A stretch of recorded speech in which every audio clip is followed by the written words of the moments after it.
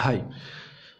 দু হাজার উনিশে যারা ফুড এসে এক্সাম দিতে যাচ্ছে, তাদের সকলকে আমার আন্তরিক শুভেচ্ছা রইল। আমরা জানি যে সাতাশে জানুয়ারি এক্সাম ডেট অ্যানাউন্স হয়েছে। সুতরাং আমাদের হাতে মাত্র এখন কয়েকদিনের সময়। সুতরাং এই কয়েকদিনের মধ্যেই যদি আমরা এক্সামটাকে ক্র্যাক করতে চাই তাহলে আমাদের রুটিন ওয়াইজ কিছু কিছু জিনিসের উপর যে যে পোর্শনগুলোর উপরে ফোকাস দেয় বা যে কোয়েশ্চেনগুলো যে পোর্শন থেকে, যে অংশগুলো থেকে কোয়েশ্চেন ফ্রেম করে সেই অংশগুলো যদি আমরা দেখলেই খুব সহজেই এক্সামটা তোমরা খুব ক্র্যাক করতে পারবে। আমি আজ থেকে প্রতিদিন দুটো বা তিনটা করে ভিডিও প্রতিদিন আপলোড করব।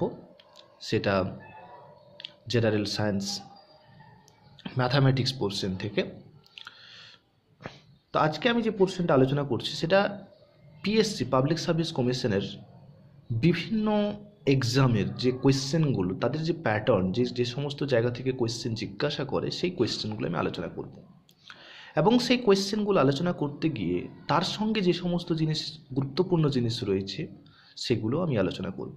তো আজকে আমি পাবলিক সার্ভিস কমিশনের একটা কোয়েশ্চেন প্রথম কোয়েশ্চেন পেয়েছি একটা এক্সামের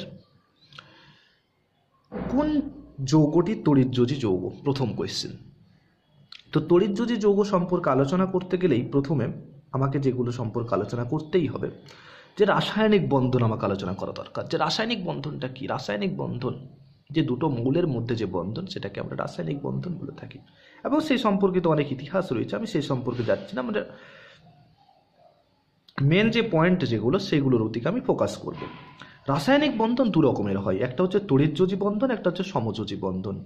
ইংলিশে বলতে গেলে ইলেকট্রোস্ট্যাটিক বন্ড বা আয়নিক বন্ড আর একটা হচ্ছে কোভ্যালেন্ট বন্ড তো তড়িৎযোজী বন্ধনের ক্ষেত্রে দুটো মৌলের মধ্যে পরস্পরের ইলেকট্রন একটা মৌল থেকে আর একটা মৌলে ইলেকট্রন স্থানান্তরিত হয় এবং এর ফলে যে যৌগ তৈরি হয় তাকে বলা হয় তড়িৎযোজী যৌগ।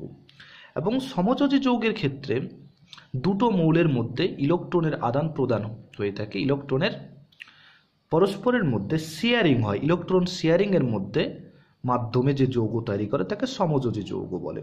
একটা কথা এখানে মনে রাখতে হবে যে তড়িৎযোজী যৌগের ক্ষেত্রে একটা মূল থেকে আরেকটা মূলে ইলেকট্রন স্থানান্তরিত হয়, কিন্তু সমযোজী যৌগের ক্ষেত্রে ইলেকট্রন স্থানান্তরিত হয় না।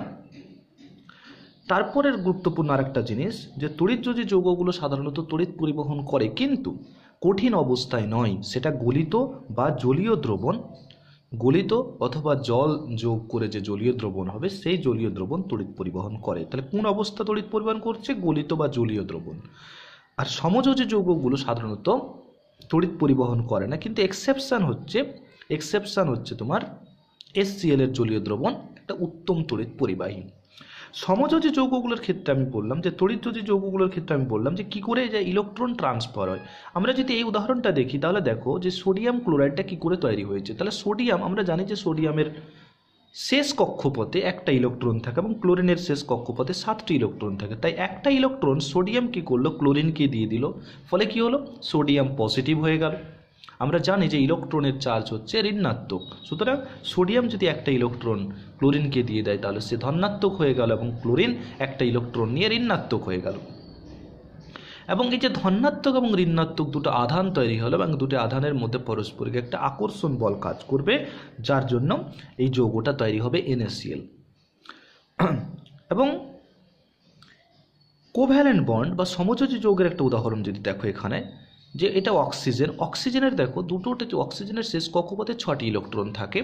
তাহলে আমি দেখতে পাচ্ছি এখানে একটা ইলেকট্রন, এখানে ইলেকট্রন। কিন্তু এই জায়গাটাতে এখানে ইলেকট্রন রয়েছে, এখানে ইলেকট্রন রয়েছে। এখানে একটা ইলেকট্রন, এখানে একটা ইলেকট্রন, ছটা ইলেকট্রন। হাইড্রোজেন কী করল? একটা ইলেকট্রন এখান থেকে দিল। এই হাইড্রোজেন আর একটা ইলেকট্রন এঁকে দিল। তাহলে এর আটটা কমপ্লিট হয়ে গেল এবং হাইড্রোজেন সবসময় চায় ডুপ্লেক্স স্ট্রাকচার গঠন করতে চাই। তাই কি করেছে? অক্সিজেনের একটা সে ইলেকট্রন নিল, নিয়ে আর হাইড্রোজেনের একটা ছিল, সেটা নিয়ে একটা ডুপ্লেক্স হাইড্রোজেন হয়ে গেল। এখানে সেও অক্সিজেনের একটা ইলেকট্রন নিল এবং তার নিজস্ব ইলেকট্রন নিয়ে সে একটা ডুপ্লেক্স গঠন তৈরি করল।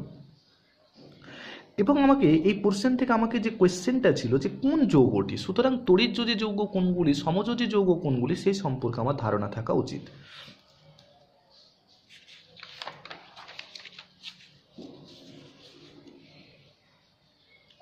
দেখো এখানে আমি একটা লিস্ট করে দিয়েছি যে তড়িৎযোজী যৌগ কোনগুলো, তড়িৎযোজী যৌগ কোনগুলো, সমযোজী যৌগ কোনগুলো এখানে লিস্ট করে দিয়েছি। এই লিস্টটা তোমরা একবার দেখে নেবে। এবং কঠিন অবস্থায় তড়িৎযোজী যৌগগুলি তড়িৎ পরিবহন করে না, আমি সেটা আগেই বলেছি। এবার পরবর্তী যে কোয়েশ্চেনটা ছিল,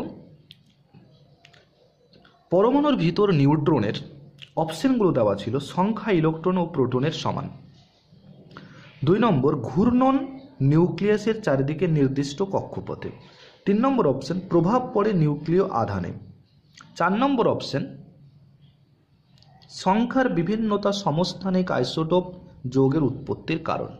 আমরা খুব সহজেই পাচ্ছি যে উত্তরটা হবে সংখ্যার বিভিন্নতা সমস্থানিক আইসোটোপ যোগের উৎপত্তির কারণ। কিন্তু কেন? তাহলে সেটা নিয়ে আলোচনা করতে গিয়ে দেখো পরের অংশটাতে। যে আইসোটোপ জিনিসটা কি? আইসোটোপ জিনিসটা বলতে গিয়ে আমরা দেখলাম যে আইসোটোপের ক্ষেত্রে হচ্ছে সেই মৌলগুলোকে আইসোটোপ বলা হয়, যে মৌলের যখন পারমাণবিক সংখ্যা সমান থাকবে, পারমাণবিক সংখ্যা যখন সমান থাকবে, মৌলের পারমাণবিক সংখ্যা সমান থাকবে, কিন্তু ভর সংখ্যা আলাদা আলাদা হবে। আর ভর সংখ্যাটা আলাদা আলাদা হবে কেন? ভর সংখ্যা মানে হচ্ছে প্রোটন সংখ্যা প্লাস নিউট্রন সংখ্যা। এবং পারমাণবিক সংখ্যা মানে হলো শুধুমাত্র প্রোটন সংখ্যা।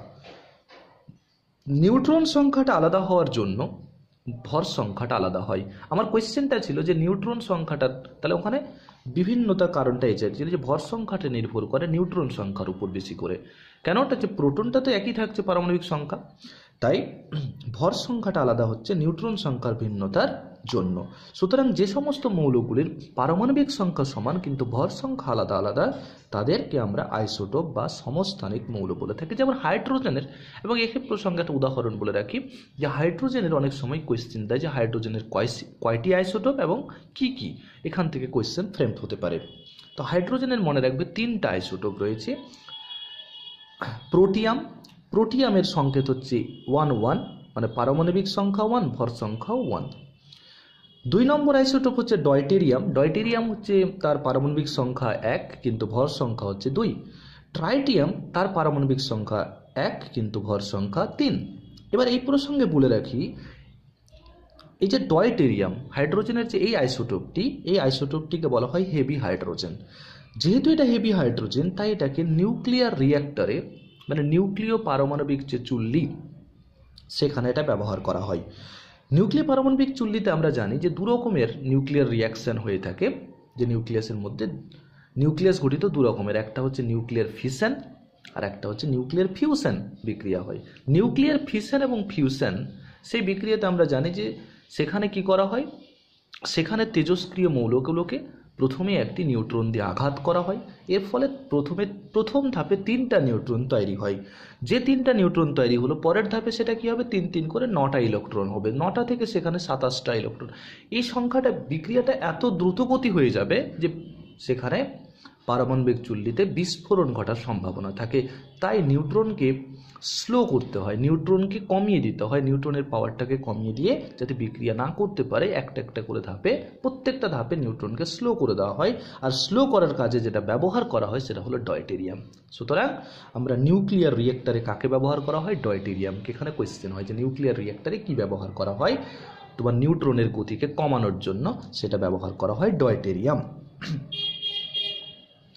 এবং আইসোটোপ সম্পর্কে আর একটা কথা বলেছি যে এদের রাসায়নিক ধর্ম এবং এরা পর্যায় সারণীতে একই স্থানে এদেরকে রাখা হয়। কেন রাখা হয়?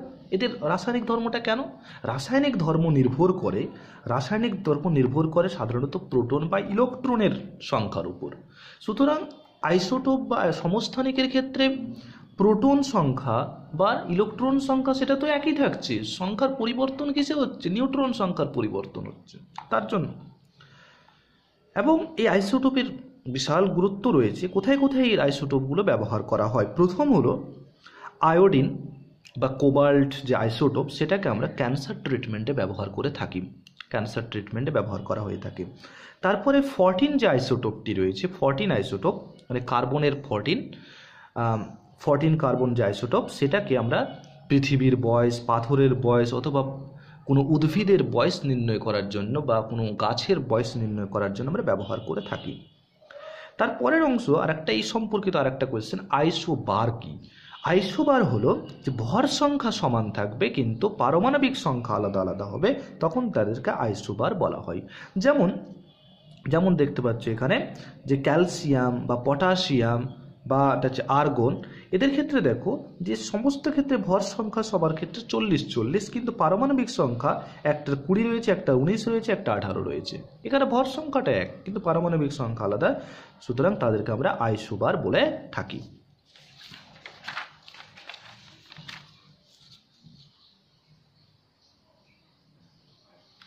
তারপরে হচ্ছে আরেকটা এই সম্পর্কিত জিনিস থাকে, আইসোটোন কাকে বলে? আইসোটোন হলো নিউট্রন সংখ্যা সমান থাকবে, কিন্তু প্রোটন সংখ্যা আলাদা হবে।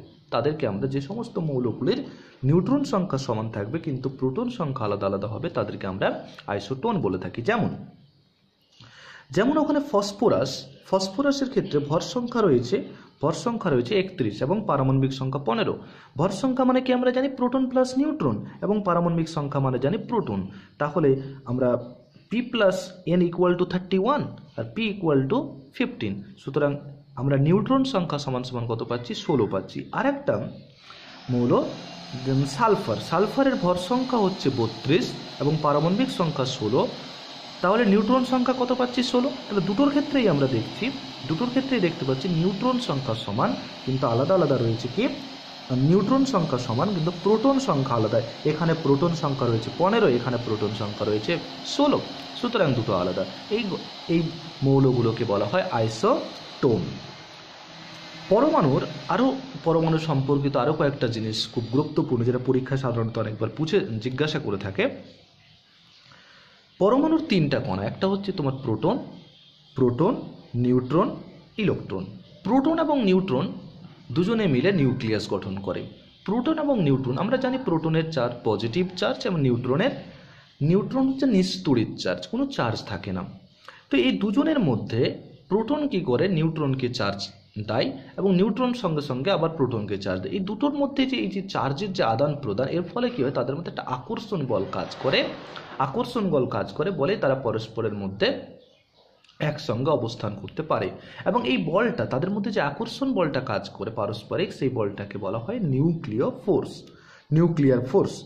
সুতরাং জিজ্ঞাসাও করতে পারে যে কোন ফোর্সের জন্য প্রোটন এবং নিউট্রন পরস্পরের সাথে একসাথে আবদ্ধ থাকতে সাহায্য করে, সেই ফোর্সটা হলো নিউক্লিয়ার ফোর্স বা নিউক্লিয়ার শক্তি। বা নিউক্লিয়নও বলা হয় তাদেরকে একসাথে। আর এই নিউক্লিয়াসকে কেন্দ্র করে ইলেকট্রনগুলো বিভিন্ন কক্ষপথে ঘুরতে থাকে ঘুরতে থাকে। তো প্রোটন কে আবিষ্কার করেছিল, এটা অনেক সময় কোয়েশ্চেন জিজ্ঞাসা করে, তো গোল্ড স্টেইন এইটিন এইটটি সিক্সে আবিষ্কার করেছিল।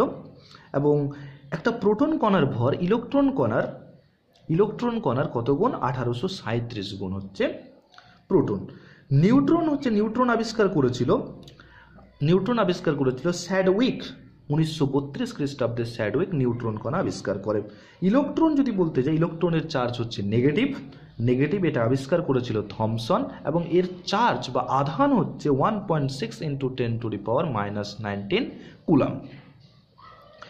এবং তোমরা, আমি এখানে এটা যে প্রতিদিন আমরা দুটো বা তিনটা করে ভিডিও আপলোড করব প্রতিদিন এবং আমি ভিডিওটা যারা দেখেছ, তারপরে যাদের হয়তো এখনও কনফিউশন রয়েছে যারা বুঝতে পারোনি বা লেখা হয়তো ক্লিয়ারলি বোঝা যাচ্ছে না, তাদেরকে বলছি যারা, তারা ডেসক্রিপশান বক্সে যাওয়ায় ডেসক্রিপশান বক্সে আমি কি করেছি? এখানকার পিডিএফটি আপলোড করে রেখেছি। সুতরাং তোমরা সেখান থেকে পিডিএফটি ডাউনলোড করেও তোমাদের ফিউচার রেফারেন্সের জন্য রাখতে পারো।